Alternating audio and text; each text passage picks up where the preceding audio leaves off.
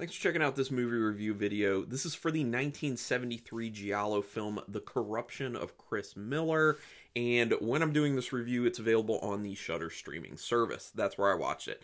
Now, because this is an older film, you know I'm going to be doing all the spoilers. It's all about spoilers with this. I'm really trying to break these movies down, you know? The other thing is, you need to know if you are a fan of Giallo and you want to see more movie reviews for Giallo films, I have an entire playlist on the channel for Giallo films. I also have entire ones for Argento films and Bava films and Fulci films and more and more and more stuff. So check out the playlist. Anyway, so The Corruption of Chris Miller. Directed by Juan Antonio Bardem, who just goes by J.A. Bardem for the credit. Uh, did other films such as Death of a Cyclist, At Five in the Afternoon, The Uninhibited, and Bell, Bell from Hell and Foul Play. Those are those aren't all the films. It's just I pick out picked out some ones that were horror related. So that's how I do this. Uh, written by Santiago Moncada, who wrote scripts for films such as Macabre, Hatchet for the Honeymoon, The Fourth Victim, Curse of the Black Cat, and Rest in Pieces. A few of those also Giallo films. Uh, Jean Seberg, who plays Ruth in this film, uh, had stated that she was actually embarrassed to be in the film and only took the job for financial reasons. Uh, I mean, you wouldn't know it based off watching the film because she did an excellent job. Well, I mean, I guess I can't say you wouldn't know it know it because she did an excellent job. I guess what it shows is she's a professional. Even if her heart's not in it, she didn't really want to do it. She's there and she gives it her all. She's a professional, and that's great. Too many times you see people phoning it in. Uh, prime example, if you want to see someone really phone it in to the worst degree, Kris Kristofferson in the film Deadfall. Oh my gosh. That film you have to see just for the reason of the push and pull between two actors in that. One who could care less and one who's trying so hard. Eric Bana on one side, Kris Kristofferson on the other. Deadfall, check it out. It also has Olivia Wilde in it, who does a, a pretty good job. Um, the film starts with very with very ominous music and heavy rain, which obviously there's a foreshadowing of terrible things to come. And the rain features heavily in this film. Obviously, the rain's not just there as a as your typical dark and gloomy and this is when the terrible things happen, but it's also there because it has a specific tie-in to trauma from Chris Miller's past. Uh, she obviously, if you get the flashbacks and you know you by the end you do get kind of a more full flashback so you can really tell what was happening. It's kind of weird because the way they just give you like these pieces of the flashback in the beginning and then they finally give you the thing at the end. I feel like they should have just explained that up front because it's not really I mean, you could kind of guess where things were going, and it's just odd the little bits of pieces they give you in the beginning. It also doesn't change much about the film or impact it all that much if they would give you all that information up front in my opinion. So they should have just given the full flashback up front and let you know she had been raped and that is part of her trauma and that is what ties into the sound of the rain and her just kind of losing it because the sound of the rain was tying into the sound of a shower that she was in when she was assaulted. So, I just think they should have put that up front. But anyway, so the rain plays a much bigger part was kind of my point of that whole thing. Between the whistling, the chicken leg chomping, and the Charlie Chaplin cosplay, it's a super odd beginning. Yes, the the actress who was known for playing her Char- Charlie Chaplin role is killed by a person dressed as Charlie Chaplin, who we at the end find out was Lewis, the friend who's shown briefly and then barely ever mentioned again of uh, Chris, one of her friends. Um, so you know basically he's going to be the killer. And yes, I did guess the first time watching it, which I've only watched it once at this point. I guessed immediately as soon as he was briefly introduced, I was like, A, he was very briefly introduced and he's not going to be talked about again. That makes me think he's the killer as a way of doing this kind of you've seen them so you know who they are. Then maybe you'll be surprised later when you forget about them because we haven't come back to them. The other thing is, I noticed that Lewis looked a lot like Barney. They had the same body type, they had the same kind of hair, they had very similar facial features. It was meant to kind of be like, oh, who it could have been either. So the Charlie Chaplin in the beginning where they're dressed up, it's kind of funny, but it's kind of more odd than anything. Now, the actual killing of that uh, uh, actress, I was going to say director, that actress is particularly gruesome, and I thought they did a great job with it. And you also don't really see it coming because it's a shocking moment with the scissors through the hand. Uh, that was crazy. And then they show the aftermath of the actual killing, and there's just blood everywhere. I like how gory they made it. It looked really good. It looked particularly violent. And that's a really good setup to let people know who you're dealing with here, how over the top this killer is. So it's, and he says at the end when Lewis ends up getting arrested, he basically says that the motive was so that he could take money because he did take money from whoever he killed. He was saying that he could, so he could take money so he could feed his horses. But he obviously revels in it. Like he has a great time because that level of killing and how he does it and how messy it gets, that's not a I'm just killing because I need money. That's a I'm killing because I need money, but I'm also really killing because I enjoy it. So but the, the the whole thing with the actress like chomping on a chicken like the whole time is very weird. The Charlie Chaplin dance very weird. But I think on a rewatch I'd still enjoy it because it's weird, but it's like a nice quirk, you know. It's pretty out of character for a giallo film to show the killer like it does, although I guess it's kind of supposed to be this uh uh shock when he's running away in the rain and he throws the mask off because it's actually I mean you can tell it's not actually a mask. They just painted his face, put on a wig, put on a mustache, all that. Uh, but then they, you know, make it look like he's pulling a mask off and throws it in the rain, but you know it, what he looks like basically and you know it's either Barney or it's Lewis basically because you can tell what they looked like in the beginning. So it's not that typical because Giallo really doesn't do that, but you know, doing something new is fine with me. Um, like I said before, those those pieces of the flashbacks of Chris's trauma just didn't really work, and they're especially weird because of showing that gap toothed weightlifter just like doing deadlifts or whatever. it's just weird. That's just another one of those just weird things. Um, yeah, but it also uh, kind of gives you the idea of why she keeps intimacy at I put at the a knife's length because of her whole stabbing uh how she likes to stab things when she starts flipping out. But you see it come into play numerous times when she's when she's trying to be intimate with Barney because she wants to she really does. But once she starts to become intimate the trauma comes back. She's having flashbacks. She's having a hard time dealing with it. And then she gets violent, just like the rain makes her. Like that whole situation just brings her back to the moment of the trauma of being raped. And yeah. Um, I do think with this film, it's kind of an oversimplification of you know that type of trauma that happens to people but you also have to consider that this was in the 70s and not a whole lot was known about how traumas like that actually affect people also uh society was not as um let me see say nuanced about how they deal with subjects like that. So just consider that. It's way more crude for that reason. What the hell is with Ruth? She's flickering the lights and then trying to make out with Chris. Is she manufacturing mental illness issues uh, to keep Chris dependent? And those are kind of questions I put down while I was watching. And to you know, to speak to it, to speak to the title of the film, The Corruption of Chris Miller, basically, yes, she was corrupting her. She even admits to it at the end of the film, and it was a way to her to get back at her father. So it's interesting to note, though, too, that the the introduction of Ruth and Chris starts with them bickering about her father, about Chris's father, and how Ruth hates him and actually all men because she says all men are terrible. They're only going to hurt you and injure you. They're holding out for bad things, basically. Whereas Chris is more hopeful and she says, you know, my father might come back. You know, he may he had a problem with you, but he may still love me and he may still want to be in my life. But by the end, they have that same argument again in the end of the film after they've killed Barney.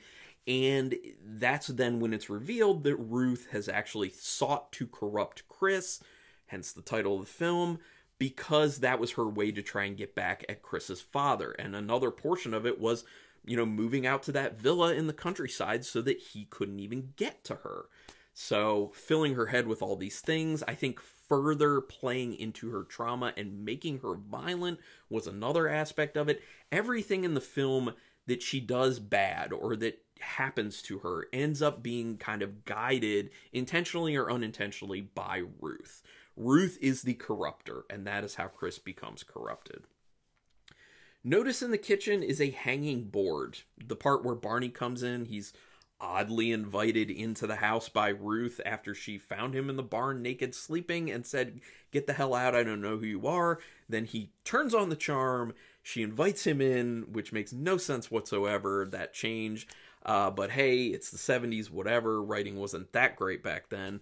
Um, but you then see in the kitchen there's this board hanging up, and there are all these knives, but then there's also a pair of scissors, which I think is kind of a call to the murder in the beginning of the film. I just thought that was something interesting to pick up on.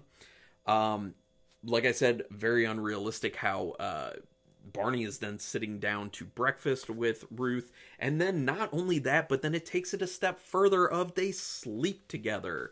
And then she's basically like, "Oh, well, you got to get out of here though before my stepdaughter shows up." And he says, "Hmm, stepdaughter, I might have to stick around long enough to see what that's about." Certainly he does, and then he's more interested in Chris than he was in Ruth, which sets up the whole jealousy issue, which is in the end kind of what ends up getting Barney killed. Um, a whole lot of people not being great in this film because obviously Barney's, you know, he never deserved to be killed, but he's not a good person either, you know, and it's not just because he was just out of prison. We don't know why he was in prison in the first place. Maybe it was really horrible. Maybe he's a murderer. I don't know. Well, probably not if he was actually released, but you know, maybe he's a bad person. I don't know, but he at least broke back into the house. He uh, was trying to move in on them basically. He was trying to kind of mooch off of live off of ruth and chris. Then he was trying to move in on chris after he was having a relationship with ruth. So it's there aren't any good people in this basically. Like there really aren't. That are substantial characters that is. Not any good people.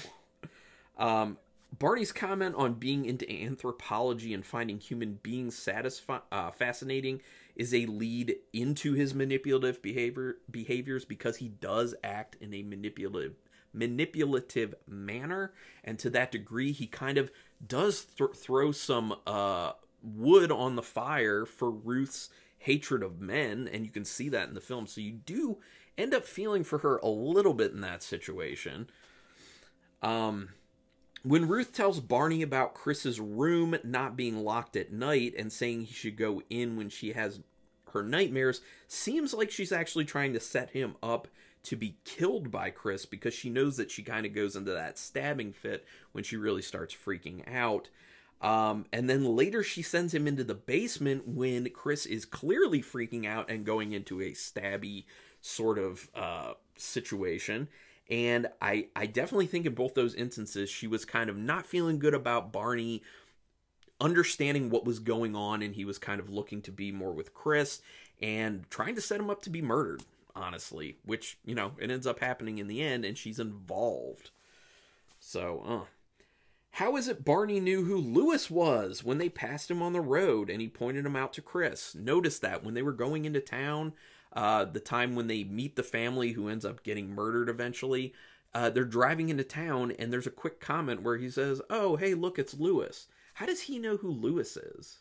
I don't understand that, and, and I I thought that may have come into play later that like they actually knew each other, but no, I I think maybe it's just a mistake in in this. I, I won't even necessarily say script because it's dubbed over, so maybe it wasn't even in the original script, but it's a mistake in my opinion.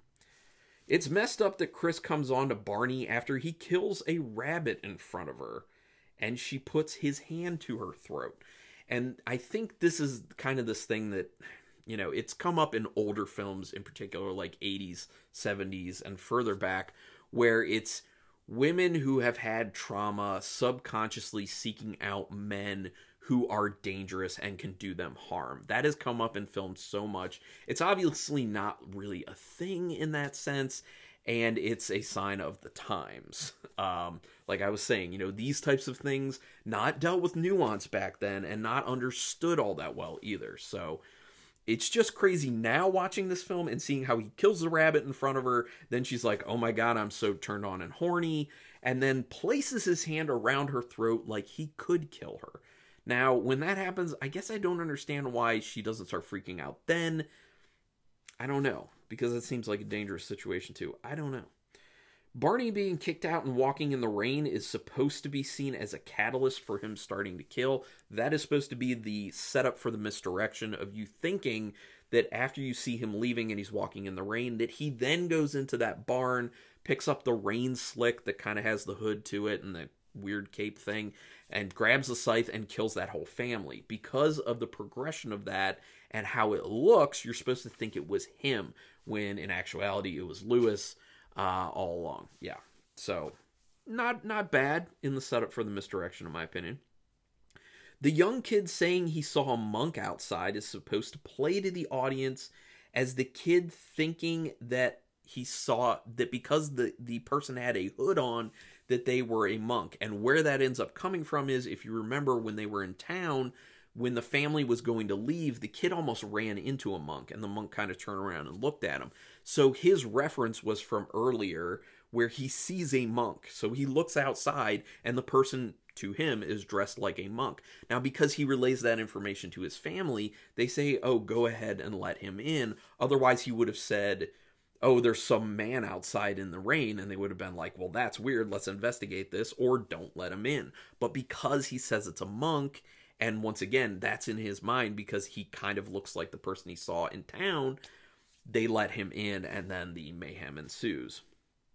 So that's interesting. How did Barney get into the basement? That's one big thing. When Barney breaks back into the house after he's been kicked out, how did he get into the basement? They don't show you that. They don't talk about that. They don't tell you that.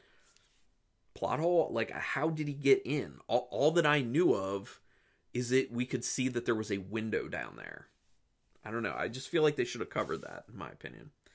The key indicator that Barney is actually not a killer uh, is when he hears someone in the house when he's, you know, cutting up the sofa and he goes to investigate it, but before he does, he closes his pocket knife.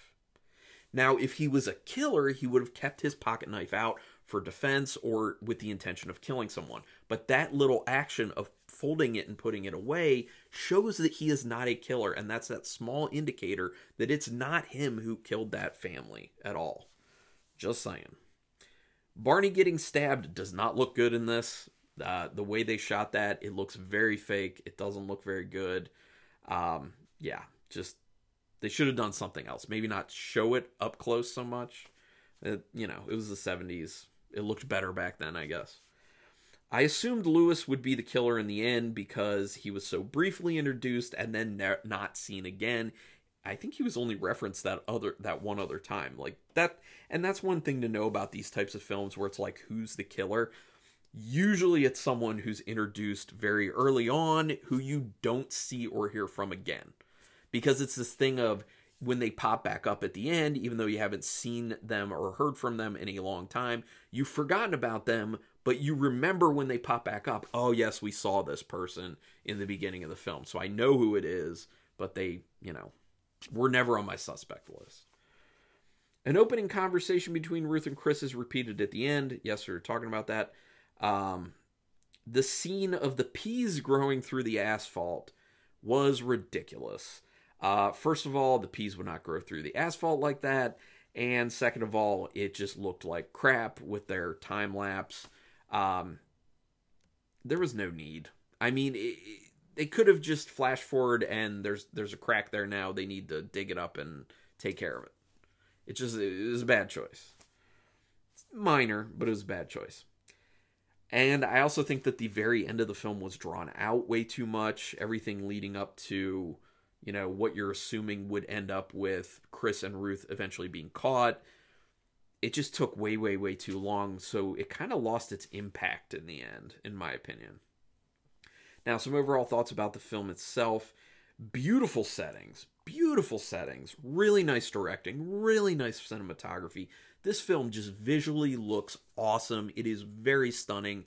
That's one of the things I love most about this film is it looks so good. It is beautiful, beautifully shot, beautiful scenery, all that stuff. I love this film and would rewatch it for that reason. That's what I love about it. Overall, I don't think it's an amazing film. It's definitely not even close to one of my favorite Giallo films, but I enjoyed it for sure. There is some real dialogue volume issues in this, unfortunately. If you notice when you're listening, or when you're watching it and listening at the same time, that there will be moments where the dialogue starts to drop down so low that you can't barely hear it, and then it will come back to normal level. So, some volume issues. I'm assuming that has to do with kind of moving it to another media, getting it to DVD, Blu ray, whatever. It's a fun watch for the intrigue and character interactions, in my opinion, but in the end, it feels a little bit disjointed and the ending's kind of disappointing. Um, the fact that the killing, that Lewis being the killer and the killings of the family and the actress, the fact that those don't really tie into the story, I don't like. I wish that they could have kind of integrated that stuff a lot more. So it kind of seems like it's two films kind of mashed together. I mean, I understand that the whole thing with Lewis was put there to make it look like Barney was that person, but I just wish the stories went together more because they just really don't. And that's why I say it feels disjointed and it's kind of disappointing. But like I said, like visually great, and I also really like the acting in it, and I love the character interactions. They're interesting characters. There's a lot of intriguing stuff going on, and the first time you watch it, it really does keep your interest because you really do want to know where it's going. It is compelling. So anyway, out of five stars with half stars in play, where am I gonna, put this one? I'm gonna go three stars. Uh, I thought about between three and three and a half, but I think it's more appropriate given the story and how everything plays out and the fact that the ending is drawn out too long, a 3. So let me know your thoughts if you've seen this one. Put some comments down here. Let's get nerdy about it. And we can just talk about Giallo in general, because obviously I'm a big Giallo nerd. Are you? Let's talk. Anyway, do me a quick favor. Hit that subscribe button if you can. That is your best way to repay me. If you like this video or any video you've ever seen of mine, uh, I really would appreciate that. I'm trying to grow the community here so we can have an awesome horror nerd community where we can talk and interact. And yeah i just want to grow this channel as as uh, much as i can. So if you are going to hit the subscribe button also hit the notification bell button because that way you'll know whenever i'm putting up a new video or doing an unboxing or live stream or anything like that. But regardless thanks for checking out this video. I appreciate your time. And until next time keep it brutal